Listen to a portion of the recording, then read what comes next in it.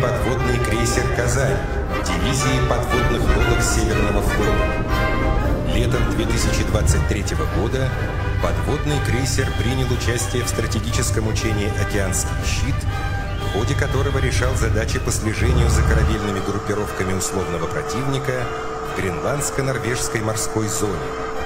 В течение 2023 и 2024 годов Корабль активно выполнял задачи боевой подготовки в море.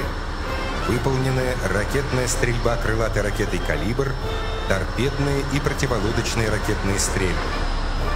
В июне 2024 года в составе корабельной группировки с фрегатом «Адмирал Горшков», нефтяного танкера «Академик Пашин» и спасательного буксира «Николай Чикер» в ходе выполнения плановых задач боевой службы крейсер впервые в новейшей истории подводного флота России совершил заход в порт Гавана на